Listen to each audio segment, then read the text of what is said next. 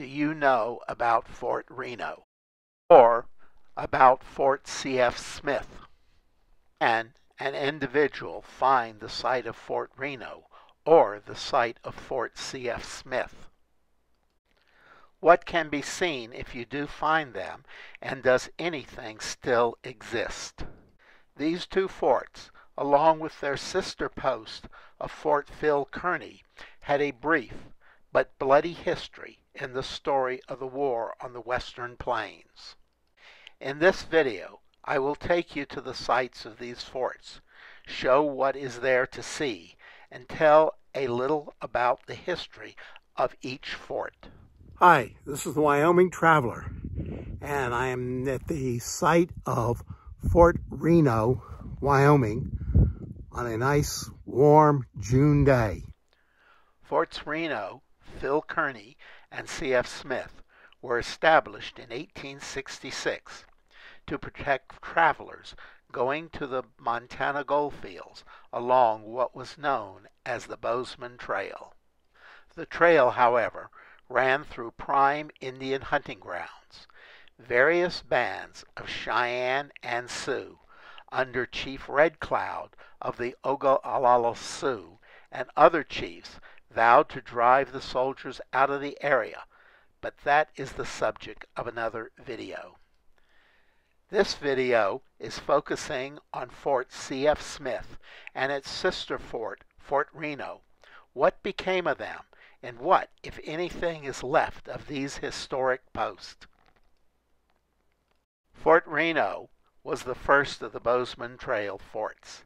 Named Fort Connor, it was established in 1865 not to guard the trail, but as a forward supply base for General Patrick Connor's Powder River expedition to punish the Cheyenne and Sioux for their attacks along the Oregon California Trail. The fort was to be strengthened in 1866, enclosed with a stockade. Additional buildings were constructed to house the increased garrison. It was renamed Fort Reno for General Jesse Reno, who was killed at the Battle of South Mountain in 1862. The fort was the southern anchor of the Bozeman Trail forts. During its brief three year history, Fort Reno was under constant siege. While the fort itself was never attacked, the Indians continually attacked military patrols, work parties, travelers, and raided livestock. Life at the fort was a constant danger. Fort sat on a bluff overlooking the Powder River and the Bozeman Trail. This is the area of Fort Reno.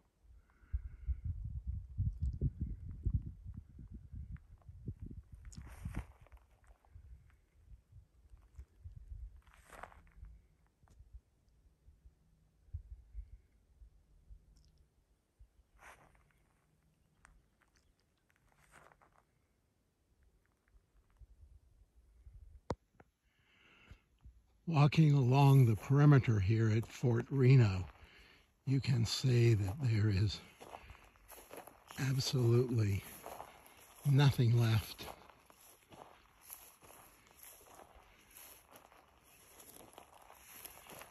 Reno is truly a lost and forgotten fort. However, in this aerial photo, the outline of the south and east walls can be clearly seen. Fort Reno was abandoned in 1868 at the conclusion of the Red Clouds War. Shortly after the troops left, the fort was burned by the victorious Indians. In addition to the stone marker at the site of the fort, the state also has three information markers that are located on a turnoff across the road from the fort. These markers give a brief history of the fort and the life of the people who live there.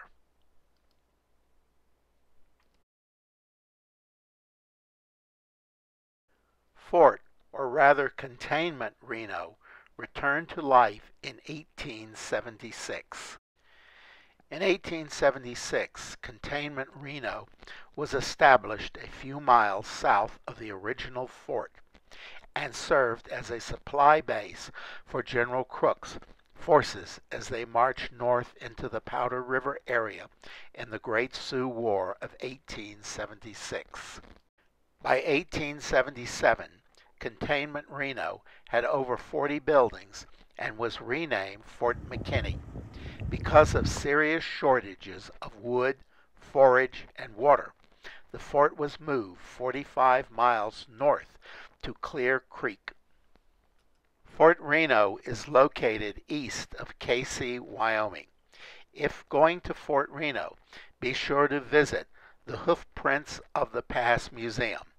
It's a nice museum with information about Fort Reno and an excellent diorama of the fort. If Fort Reno is a lost and forgotten fort, then Fort C.F. Smith is truly lost, and I do mean lost and forgotten. This monument is all there is to identify the site of Fort C.F. Smith, and almost no one sees it. Fort C.F. Smith is located on private land with no public access. When I was in the area, I attempted to get permission to visit the site, but was unable to contact the owner. The pictures I am using are the ones I found online. Fort C.F. Smith was the northern post of the three Bozeman Trail forts. It was established in 1866 and like the other two forts was under constant attack by Cheyenne and Sioux warriors. The Hayfield fight of 1867 was the most famous of these engagements. That battle is the subject of another video.